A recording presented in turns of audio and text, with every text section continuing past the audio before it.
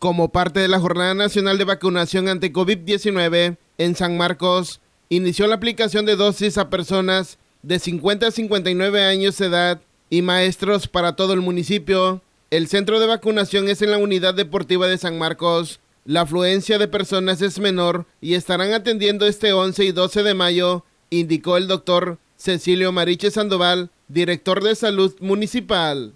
Sí, precisamente invitación para todo el municipio de San Marcos, de todas las localidades, para que acudan hoy, precisamente hoy y, el día de mañana a vacunarse aquí a las personas que tengan 50 a 59 años de edad y los de adultos mayores de 60 que no alcanzaron a vacunarse, que se vengan a, vacunar.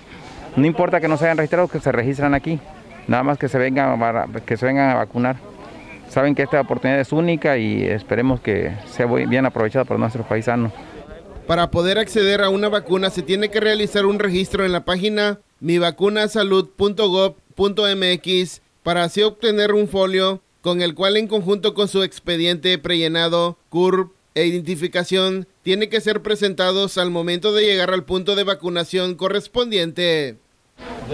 Docentes? yo, todos los docentes no nos han comentado nada acerca de la edad, pero que se vengan a registrar. ¿Y de letras a qué letras?